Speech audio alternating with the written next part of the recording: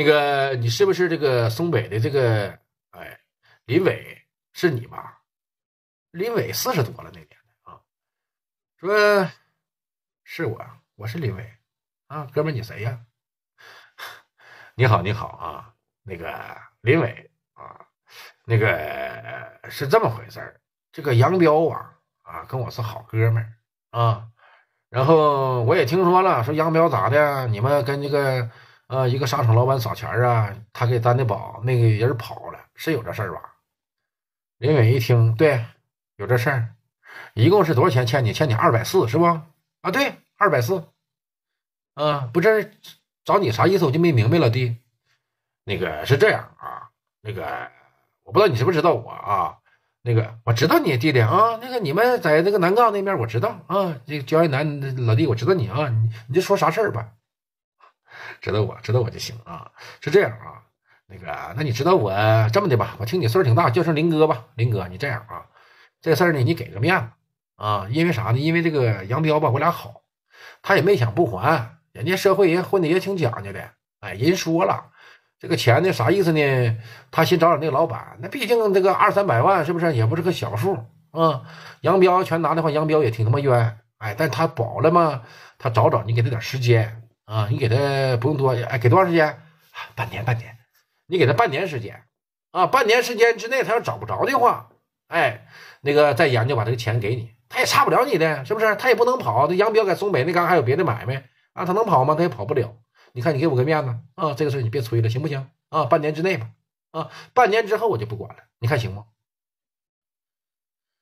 这林伟一听，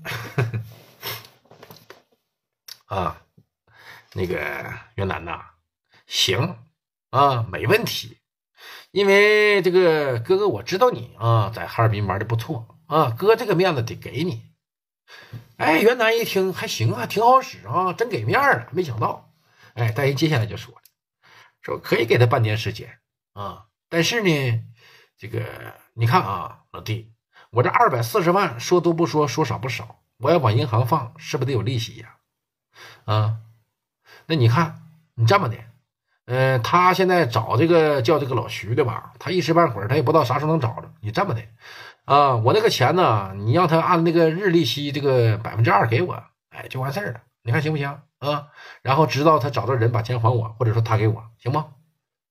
那一听百分之二啊，那没问题呀。那百分之二多少钱？行行行行，我问问他啊，我问问他那个，哎，那个你给拿点利呗，你这玩意应该给拿，人家要百分之二的利啊，你看看啊，这个这这找找着人之后就不用给了。南哥，杨彪讲话，南哥呀，你知道百分之二的利多多多少钱吗？原来不放钱，他妈脑袋一天。讲话都这不抽大了，多多少钱呢？啊，这这几千啊，几百，一天好几万，一天得四万块钱啊！多少钱？一天抵四万，十天四十万，一个月一百多万，俩月鸡巴就就就，要是半年的话，得干好几百万呢，哥呀！那半年得这这这一百天得整四四百万呢，那那那那仨月就整四百万，半年都得整七八百万。那南哥，那那那我找你这个，帮我交个话。不能越叫越多呀，南哥呀，这他妈不得给我干倾家荡产呐啊！张军讲话，哎呦我操，这南呐，你这脑瓜子，你就你这样，还还还搁这还搁这嘎达啊？人家把零头给你抹了一天都得四五万呢，你这袁南讲话，这他妈不玩呢吗？袁南当时就上头了，嗯，说你看他妈的我咋刚才还说说行，给你面子，你这不逗我玩呢吗？老铁，正常人都得有这个想法啊，说咋的？啊，不是哥们儿，你还在不在？林伟讲话，我在呀。啊，老弟呀，咋的？不是你玩呢？啊，他妈一天四五万块钱利息，他妈十天找不着，他妈的就四五十万，一个月就整一百多万啊！那那那半年多少钱呢？啊，那我咋我叫句话，怎么的还还还比原来还多了？不是，老弟，那你看，那他要是不使劲的话，那肯定那那那日子就长，那利息就多。那他使劲找，他三天可能找出来呢。那三天没多少钱呢，十来万块钱。那我二百多万，我放哪嘎达不不不生产不产效益啊，哥们儿？那是你的钱，你也不能白放那嘎达二百四十万让别人花着吧？对不对，老弟？咱这玩江湖的，玩社会的啊，我认为我也没啥毛病啊。我要点利，有毛病吗？哎呀，袁楠这嘴皮子吧，确实不行，他跟刘双比不了。但袁楠吧，其实人家林伟其实没啥大毛病啊，但袁楠这种人就脑瓜有点较较劲儿。这林伟啊，你别唠那个鸡巴利不利的，我就问你，我焦元南有没有这个面子？你一分钱利息别要，你给他半年时间啊，我叫这个话，哎，半年之后没告诉你找他要鸡巴一天要十万的，要二十万，要一百万利，跟我没关系，这不找到我了吗？给我个面子得了呗啊！半年之后，然后他找不着人，二百四十万一分不差还给你。老弟啊，不是我不给你面子，你看咱俩也不熟悉，是不是？我是听过你，咱俩连面都没见过，咱哪有那么大的过啊？啊！再说了，那教化，你说你一个南杠的教化，你上东北这嘎来教化来了，教化那玩意双方都得认识，都得信服。你说你来教个化啊，老弟呀，你说是那么回事吗？嗯，要我说呀，你就别给他叫这个话啊。其实林伟啊不想得罪袁楠，他唠嗑吧没那么冲啊。袁楠一听你说啥啊？我他妈南杠的，我上东北教话咋的啊？不是。老弟，你你别这么唠嗑啊！你可我他妈就这么唠嗑了，我他妈还上脾气了呢，还利息一分不给你能鸡巴咋的啊？一分不给你能咋的？就不给你了？云南不就急了吗？说不给你了。林林伟一听怎么的？不给我了，二百四十万不给我了，吹牛逼呢？你谁他也不行啊！焦云南呢？知道你玩的好啊。到云南，我告诉你，你别因为帮他叫这个话啊，你把自己车里面犯不上。咱哥俩之间没啥事儿，对不对？哎，大哥，我劝你一句啊，云南，知道你社会上玩的不错，但是啊，云南，你这事儿你往里面掺和，你不对劲儿啊！你别他妈管对不对？杨彪跟我好，我就告诉你，一分不给你了，能鸡巴咋的？你在哪呢？啊？不是，你们欠我钱，他欠我钱啊！你们怎么还得欠不欠你钱？不给你咋的？你告诉我你在哪呢？来来来来见个面啊！我他妈在南岗，我在道外的，我我就跟你叫叫这话咋的啊？啥意思啊？你你在哪呢？不是我在哪咋的啊？我我我在哪咋的，老弟呀？我在哪咋？你还你还要干我呀？是咋的呀？啊？怎么的？你敢不敢见面？还还敢不敢见面？不是老弟，你真以为我怕你呢？啊？脸给你们多了，我发现你们这帮小年轻就挺晒脸。他妈混江湖混社会老铁林伟他们就属于古典流氓，知道不？八十年代混社会的哪鸡巴有这说的吗？这江南那瞎鸡巴整啊！说你混社会混啥？你这个事儿你都没道理啊！哥哥，我他妈站着理呢，我怕你吗？啊！我在哪呢？我在松北，你来吧！啊！你牛逼你要干我呀？啊！别唠别的没有用的啊！我他妈上松北找你去啊！不是老弟呀，你真犯不上，咱俩往日无冤，近日无仇的啊！焦元南。啊！你打听打听我，我林伟给松北我干啥的？你干啥的？你啊？他干啥的？杨飞讲话，他他干砖厂的。你他妈一个砖厂老板，你给我俩装什么社会啊？喂，我砖厂，我砖厂老板行啊。焦云南，你他妈打听打听我八十年代我干啥的啊？你你别光看我做点买卖，干个砖厂大理市场的啊？你打听打听社会上我是干啥的？你爱他妈干啥干啥的？我没时间打听你啊？你不砖厂吗？能找着不？杨彪讲话不是，你等着啊！我他妈现在找你去，你别走啊！你来吧，给你们惯的！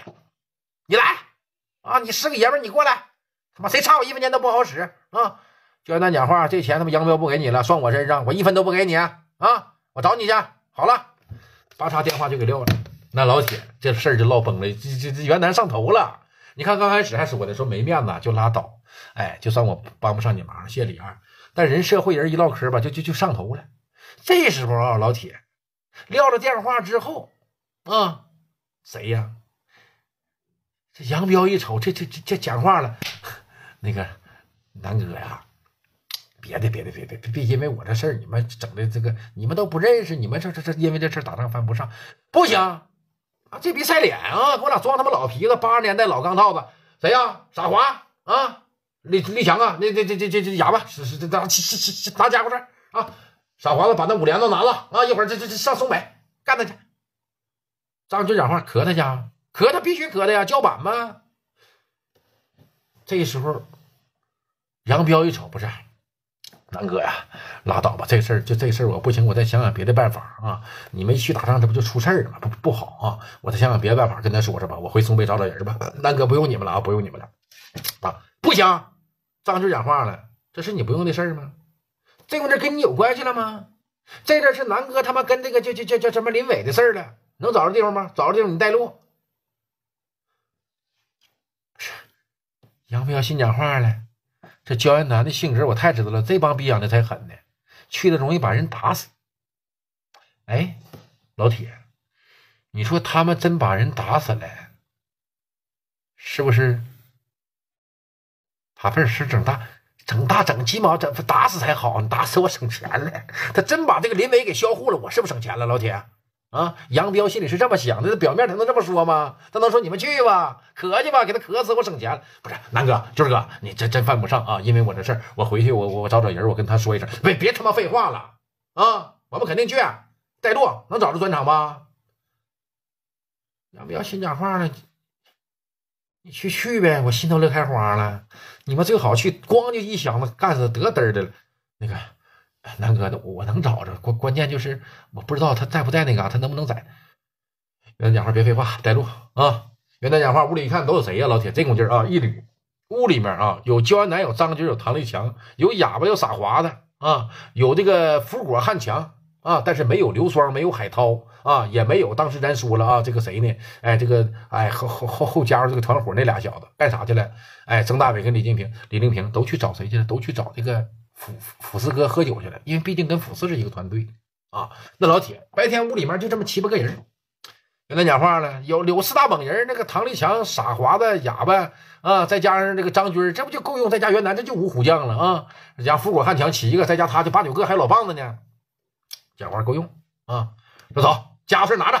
傻华子跟哑巴讲话，阿爸阿爸，翻箱倒柜的，叭叭五连子，这功夫这五连子都有了。元南这功夫都都用啥了？元南都用上五加四了，装备绝对够用了，有钱了啊！那老铁，大伙儿下楼，这时候咱说这个杨彪啊，一路上还搁这劝，但心里面啊，确实已经乐开花了。说讲话呢，元南这个团伙去最好，他妈林伟他妈叫板打死他得嘚儿。啊，心里面美，把他打死，剩那三个人一百万的那个几个人，他敢要吗？那几个逼逼崽子，啥也不是的玩意儿，我就赖他能咋的？想可可好了，他们一共开三辆车，就奔往了当时咱说了啊，砖厂去。那老铁啊，往那边去，那咱们再说是这个砖厂的老板啊，砖厂的老板，伟星砖厂这个老板，我说这个林哥林伟啊，绝对不一般。林伟当时确实在八十年代人就挺牛逼。而且挣到大钱了，在九五年，他趁着千万以上家当，还有那些买卖，人绝对够用。林伟讲话了，焦元南，你他妈跟我装啥呀你呀，小逼崽子啊！讲话呢，但他妈焦元南挺狠的，我确实知道啊啊！他把杨彪的兄弟都干死了吗？他们的那伙人，那我太知道了。在哈尔滨的社会上干死几个，我也听说了啊！他妈跟他干，我他妈犯不上。嗯，但我能怕他吗？你说这事儿我还占理？找人吧。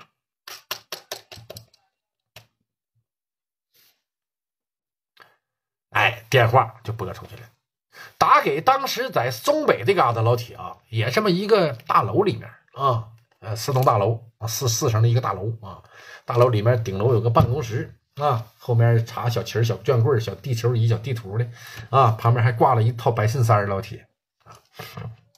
哎，我是松北六扇门的这个一宝啊，我老老林呐，我啊，谁呀？哎，他叫啊，哎，这个林兆啥，咱就不说全名了，林局长啊，老铁，跟那个林伟还一家，但不是亲哥啊。说林哥，我林伟啊，林伟啊，操，谁的？林哥喝了，喝了。中午刚才区里边来两个领导，去副区长啥的，规划局的还有，啊，一起搁单位喝的，喝的茅台，啊，咋了，老弟？哥，我跟你说个事儿，啥啥事儿是吧？那个前两天吧，我在那嘎达跟那个杨彪，你知道吧？知道杨彪？跟杨彪在一起不耍钱吗？那嘎达就放个局子，有个姓徐的，这逼他妈欠我二百多万跑了。杨彪不叫这话吗？前两天你记得不？我让你找个姓徐的啊，要查他啊，我知道，那那那那找不着，那上哪找去？人也没偷没抢的，通缉都没法通缉呀，这这这跑就跑了。那我找杨彪要这个钱，你说应该的不哥？应该啊，那肯定得要啊，谁钱谁不要啊？关键这逼他妈不给我，不但不给我，他找他妈哈尔滨社会大流氓子啊，找那个悍匪级的那个焦元南啊，这个这这这这这这这这喝我来了，打电话刚才给我骂了，说要来磕我来，咋的？哈尔滨社会焦元南是你再大流氓的，你到咱这嘎子来，还能有咱他妈硬气啊？咱是干啥的？咱不专门收拾流氓的吗？哥，那啥也不说了，那你说咋整啊？操！我一会儿啊，我一会儿我派鸡巴那个啊，我派那个那个谁，我派那个这这侯队长去，把他们全他妈给我抓收拾他。这事儿还还用你操心吗？该哪嘎达？说就在我专场，你等着，我现在派侯队长过去，看他妈咱谁兄弟多，操，抓着往死收拾开皮啊！好了好了好了，大哥，那麻烦你了啊！麻烦啥麻烦？都自家兄弟，操啊！那好了。我跟你说，我女儿那个前两天那个，呃，学校你又给汇款了，干啥给汇五万块钱？不是，哥，那不应该的吗？啊，她在国外留学呢，那不应该的吗？零花吗？还操你这小子！行了啊，你嫂子还说呢啊，说那个过生日啊，这个项链呢，你送的也挺好。哎呀，林哥，别别别唠了啊，那个林哥，那那我等你了啊。行行行，打电话，我现在打电话，我安排啊。